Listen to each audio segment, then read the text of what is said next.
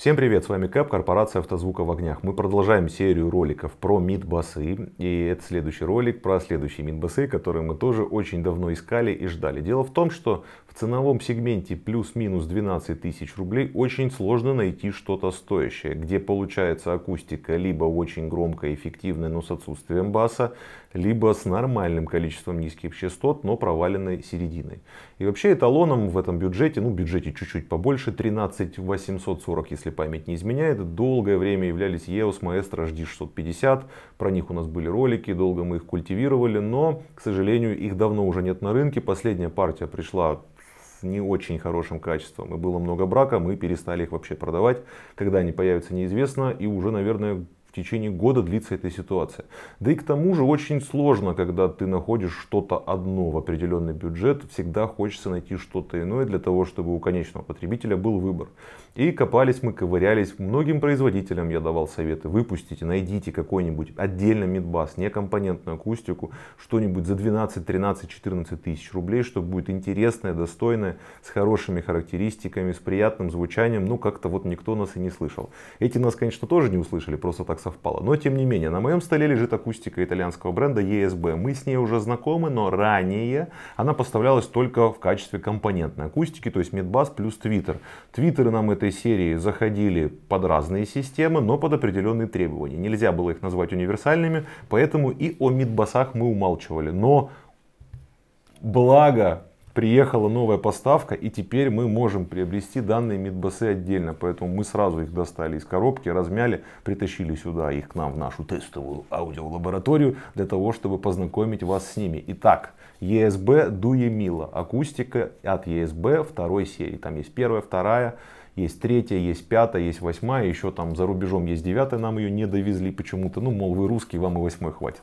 Ну, вот это вот уже не начальная серия и акустика интересна. Есть третья серия меды, они чуть-чуть подороже, они отличаются от серии второй. Я считаю, что для массового потребителя более интересна будет вторая серия, потому что а, она дешевле, б, она больше подходит под ваши требования. Каковы ваши требования? Вы меняете акустику, вам всегда хочется что? Чтобы оно там все играло и как можно дешевле. Под всем играло, под все играло, я подразумеваю и бас, и средние частоты, и чтобы оно там еще и погромче, и усилитель послабее. Вот это вот все-все-все в одну кучу объять. Вот оно оно вам понравится. Сегодня будет прослушка, послушайте. Сразу обращаю внимание, что в стенде у нас объем под эти динамики всего лишь 15 литров, то есть басов фактически будет еще больше. Чуть позже переделаем стенд. Неважно, вы все равно услышите ее способности.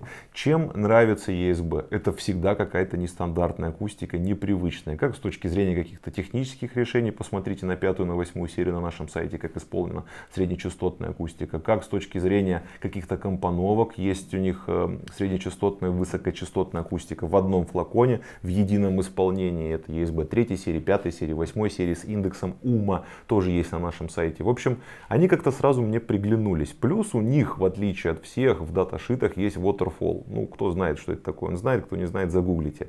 Это как-то тоже добавляет уверенности, добавляет респекта производителю. Ну, как будто, мол, там действительно что-то мерят, как будто действительно разрабатывают, стараются, есть какие-то характеристики, рекомендации. То есть позиция позиционирование своих продуктов у ESB на высшем уровне. Мне оно нравится больше всех других производителей акустики. И вот возвращаемся к нашей второй серии. Что здесь необычно? Во-первых, здесь цельная конструкция, конструкция пластиковая. Это корзина, которая закрывает также и мотор. По весу чувствуем, что магнит здесь не маленький, но в каждом ролике говорю, это далеко не самое главное.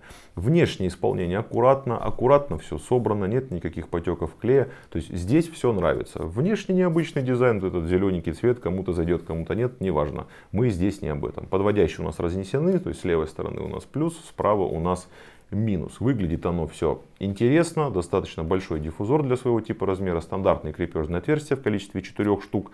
И вот смотришь такой, ну вот ну что-то уже интересное, необычное, по крайней мере, нестандартная приевшаяся реализация в виде штампованной корзины, магнита и, собственно говоря, все. Тут, конечно, тоже магнит и корзина, но тем не менее, внешне что-то доставляет. Идем дальше. Что в них хорошего? Открываем даташиты, можем на наш сайт перейти, посмотреть технические характеристики. Там же будет файл с описанием от производителя. И видим, что вроде как по АЧХ, заявленной производителем, мидбасы ниже 80 Гц ну вообще вот никак не могут. Хотя на самом деле частота основного резонанса самая типичная мидбасовая для 6,5 дюймов, та, что нужна, ни больше, ни меньше. Ставим, включаем, слушаем. Сейчас на ваших экранах будут графики АЧХ. Я по памяти опять же буду их воспроизводить, потому что мне лень держать компьютер и одновременно вам рассказывать. На первом графике обратите внимание на верхнюю частоту, на верхнюю граничную частоту в амплитудно-частотной характеристике. Эти меды доигрывают практически до 11 кГц, что исключает вообще какого-либо рода проблемы со стыковкой. При этом обратите на характер их звучания, обратите внимание на АЧХ. Чем дальше мы кверху верхней частотной границы, тем сильнее она задирается. Происходит это как раз потому, что акустику мы же в автомобиль устанавливаем не вот так непосредственно в лоб, да, и как мы измеряем, вот так стоит динамик, вот так микрофон. А акустика у нас там где-то в дверях, внизу, под углами важны важна диаграмма излучения динамика. Так вот, для того, чтобы эти вот все спады на среднем и высокочастотном диапазоне были как можно менее чувствительны для нашего уха, мы имеем при прослушке в лоб этот характерный подъем на СЧ и на ВЧ. То есть, чем сильнее мы динамик отворачиваем от себя, тем сильнее этот подъем будет превращаться в спад. Что в конечном итоге даст нам отличное удобство для того, чтобы стыковать эти мидбасы вообще с любыми твиттерами, присутствующими на рынке. Следующий график уже у нас в стенде здесь помещение. Мы видим, что и по низкочастотному диапазону проблем нет. И они даже там, невзирая на свой тип размер, пытаются забраться куда-то там сабвуферный диапазон. Ну и третий график будет после небольшой коррекции АЧХ. В принципе, то, что вы слышите, уже порезанный сверху от 5 кГц до 5 кГц вторым порядком. Если мне не изменяет память, то, что вы сейчас, собственно говоря, услышите, та самая АЧХ. Нет каких-то явных провалов, горбов, акустика ровненькая, акустика очень объемная, скажем так, потому что по частотному диапазону оставляет нам кучу возможностей для реализации, как при поканальном подключении, так и подключениями с кроссоверами. Естественно, как я уже ранее говорил, есть эта акустика в виде компонентной, сразу со своими твиттерами и кроссоверами. Вопросов к ней нет. Так вот, оно басовитое, оно очень хорошо забирается вниз, но при этом напрочь не имеет проблем с серединой, что свойственно многим басовитым минбасам. Поэтому решили снять данный видеообзор. Сейчас мы приступим к прослушке. Послушайте там рок, мок, блюз, джаз, рэп, естественно. Теперь тоже начали добавлять по просьбам трудящихся. Обязательно наденьте наушники, низкочастотный диапазон без хорошей акустики вы физически услышать не сможете.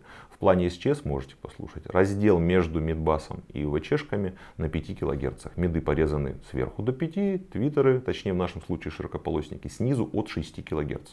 Никаких проблем со стыковкой, можно было стыковать и выше, но это бессмысленно. Любой твиттер от 6-7 кГц будет играть, даже самый маленький 19 миллиметровый, но вряд ли в паре с этой акустикой вы будете использовать такие твиттеры, такие-то, какие которые дорогие. В общем-то, приступаем к прослушке.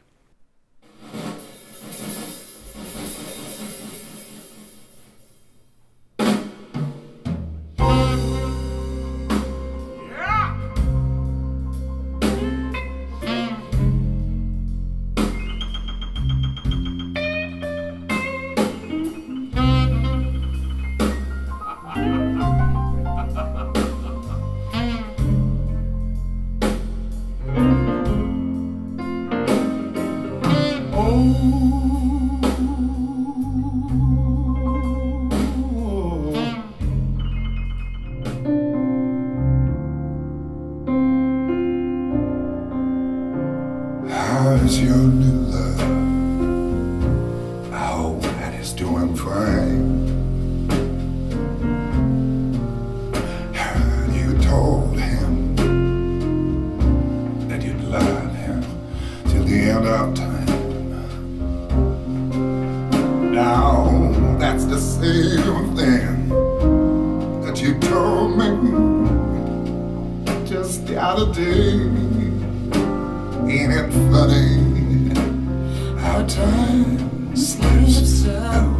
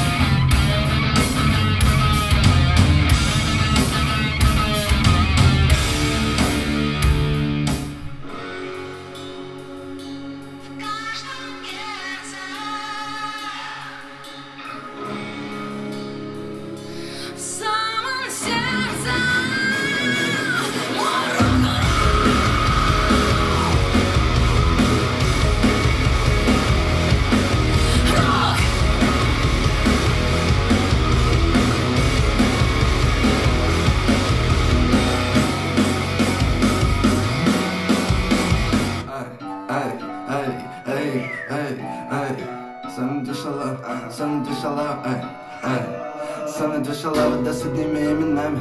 Загадаю нам, когда буду между вами. Загадаю рейв с новыми ключами. Группе и стаканы, что мы делаем ночами. Я провел назад на пять ночей, пять дней. Не звоню тебе, но все окей